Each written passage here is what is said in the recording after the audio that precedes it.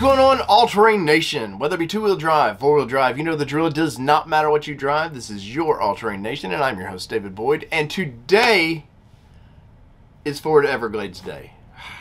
It's not Raptor Day. It's not, you know, something that really moves the needle. It's Everglades Day. Now, while my opinion is slightly changing on the Everglades, I do think there is a place in the Bronco lineup for this.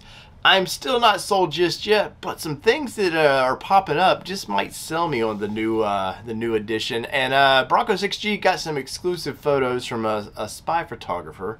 And uh, well, let's just let's just get into these pictures. As always, credit is you know where credit is due, and uh, Bronco 6G has uh, paid for these pictures, and uh, they're showing them on their website. And uh, you know, hey, I know, I know how they how expensive these photos can get, so good for them. And I will share the link in this if you want to get into it. Go over to Bronco 6G, find this, and uh, if you want to look at these pictures in greater detail. But I wanted to go into this just a little bit because, um, you know.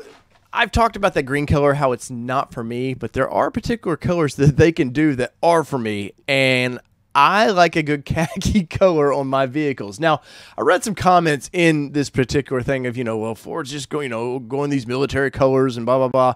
And I don't view khaki as a military color, man. I just view it as a, you know, kind of a desert looking color.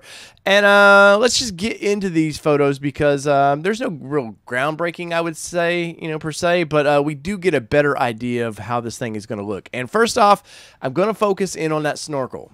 And if you're new to off roading, snorkels have nothing to do with how much water you can forge. I know it's called a snorkel, but it's an air snorkel. So the higher you get, the cleaner the air that you're pulling in.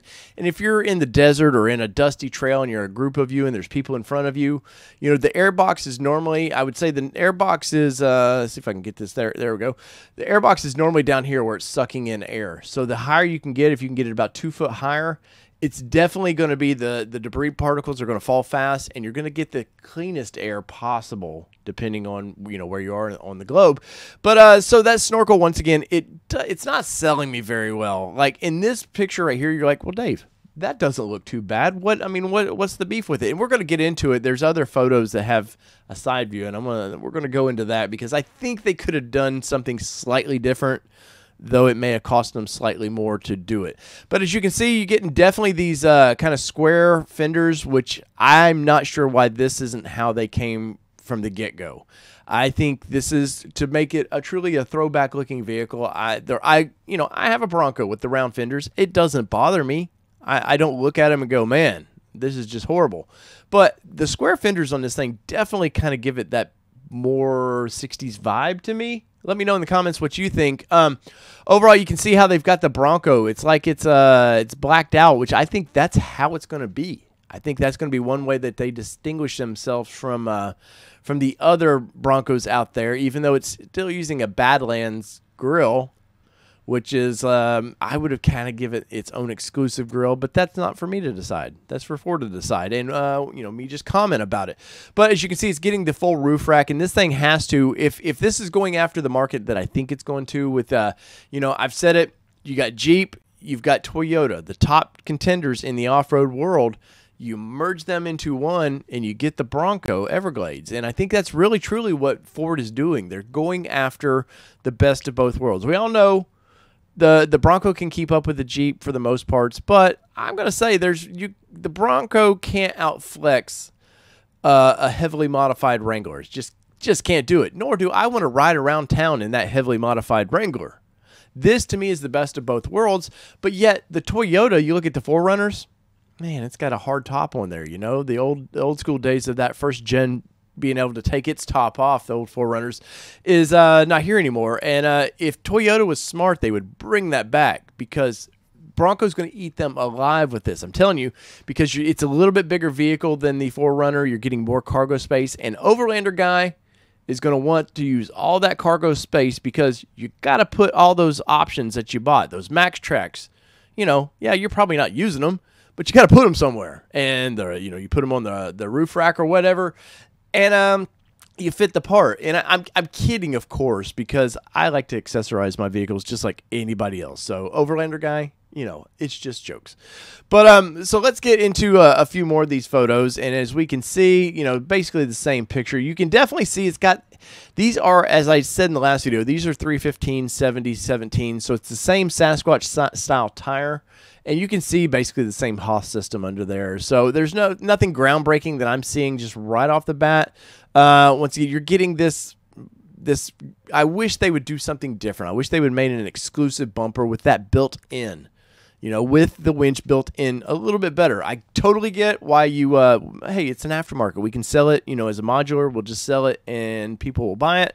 But I think I think Ford's going to learn real quick that this isn't going to cut it. I think they're going to see a lot of takeoffs, and and they're they're going to go, why are we spending all this money if uh, people are just taking all these bumpers off? And so be it. Which still, you know, hey, if this is this is what you like, remember, not everything that I don't like or dislike or do like is maybe down the path you're going by. But you can see that it's got the rock sliders on there, which I wish they would do something slightly better, but it's in line with the market. It's what Jeep does. So, um, you know, once again, no, nothing groundbreaking here. You can see it looks like even the Badlands lighting. You know, you're not getting anything anything exclusive there, really. Um, here we can see the uh, the wheels a little bit better. Definitely have that little bit of a throwback vibe. And uh, does this mean that they're not doing a Heritage Edition? You know, I don't know that they are. And I think they're going to allow this thing to sort of take that vibe a little bit and kind of run with it. Maybe I'm wrong, but I've seen these these fenders in uh, photos that I'm not allowed to let anybody see. I've seen these things coming, and well, you know, uh, I I think it works for here. And I wouldn't. I would say after 23, just do these fenders for everything. These uh, these uh, pull off plastics. Just just just do it. They look. I think they look honestly better. Uh, once again, you can see the wheels there. Nothing, nothing groundbreaking in some of these photos. You do get to see the Territory MT tires there. Um, let's see. I, I don't know if they have an exclusive now. Here's where some of it is getting kind of like with the snorkel. You can you can see this side view. Look how this thing is popping up, trying to go over these uh, the uh, mirrors, which is a plus. Having the mirrors mounted to the body like that is a plus that they can say, "Hey Jeep, you don't do that." But Jeep didn't go through the valley and over the woods to grandmother's house to get the snorkel attached to the pillar. You know what I mean? Like like they just it it just looks like a big spatula honestly up there. And uh now granted I know what snorkels do. You know like I said earlier, they're for clean air. Uh, so that being able to get it from the factory is like really really cool. So you know, much respect there. But I think what we're going to see right through here on the snorkel when it's unbadged, I think it's going to say Everglades right there. Um, but uh, let's let's continue on here. And uh, once again, it's just side pictures. Um, you would have even thought they might have done different tires on, on this package, but you know that's that's a bone of contention, man. I, these tires are uh, they're wearing a lot faster than I think uh, you want them to. Uh, nice side view here. Looks looks pretty good. You know, no groundbreaking here. Looks like the taillights are basically the same thing, but it's the the color once again that kind of khaki color, the desert tan color, is really, really cool. I like it a lot. And you know it's purposeful, right? That you can see this color. These photos don't come out because they don't, Ford doesn't want them out. They didn't just go, oh, damn, we accidentally unwrapped that. Now we're driving it. These things, it's all set up. There's sometimes these photographers are told, hey, be right here and we're going to run this thing through there. And you could definitely tell in in some of the pictures. I don't know if it was an earlier picture, but you can definitely tell the driver is uh, he knows what's going on because let me see one of these photos. You definitely can see he definitely knows that he's being uh, having a, his photo taken. I guarantee you of that. But uh, does this color do anything for you? What you're seeing of this? It's a. Uh, I would like to see a slightly darker uh, sand khaki, but uh, I like that a lot. I I had a Honda Element that was like they called it cargo khaki. It's kind of near and dear to my heart, so I I do like this color quite a bit. But let's see if there's anything else in these photos that are kind of pull me out. Now you know, like there was some pictures Bronco Nation. I don't think it's going to show in here, but Bronco Nation had showed some more inside detailed photos, and I think they're going to do body matching colors for all the grab handles and stuff.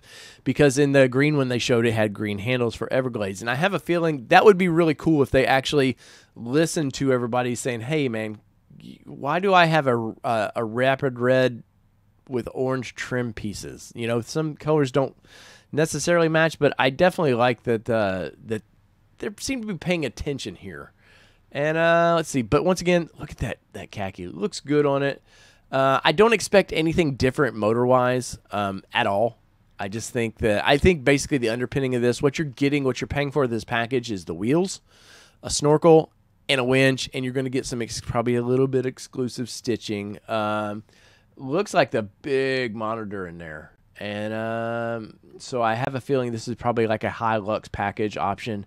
They're hiding the the the uh, the Bronco badging back here for some weird reason. Uh, I don't know if they're changing it out or you know for this model or if it's just to kind of toy with people.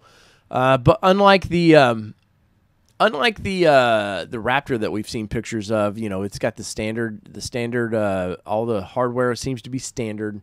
Uh, nothing like really sticking out that uh, it, it's like crazy. Here's one of those photos where I definitely know the driver. He knows he knows exactly what he's doing there and why these photos are being taken. But um, overall, you know, there is an Everglades with uh, a new color and maybe Ford does this. Maybe they launch this thing with, uh, I would say, three exclusive colors to this model. Um, you know, Ford has said that hey, the uh, the Everglades and Raptor, they're going to be limited sort of editions. They don't want to just like, you know, they don't want to get in the same problems that they've had in the past with um, everything else they've done. But uh, I, I I could dig this. Uh, I I don't know if I could deal with that snorkel, but you know, see the Badlands brake lights everything says this is a Badlands with just a few exclusive uh, options. But uh, let's see. Anything else? I'm looking. I'm scanning through here real quick. Uh, once again, you can go to bronco6g.com, and I will have their link to their website and this this uh, up there if you want to see it. And uh, here it shows, you know, some pictures of the HOSS system. Everything that I can tell basically looks identical. Um, the the lower control arm may be slightly beefer, but I don't know when this photo was taken. If this is just a pre-production model, so in the comments, let me know what you think. There you go. I, I do like a good cargo khaki color, or whatever they're going to call this color. I do like a good uh, kind of a tan color on this thing, and um, they're definitely going after the overland crowd. I mean, it's it's no secret that uh, you know Toyota has like Toyota just knows how to seem to do colors that kind of excite its base. And I think Ford's paid attention to that and it's like, hey, you know, I said it the last video, we're going to take the best of what Wrangler can do and the best of what Toyota can do, and we're going to merge it into the Bronco. And I think they're really doing that. And I hate to, man, I, I feel just dirty saying that. But in the comments below, let me know what do you think.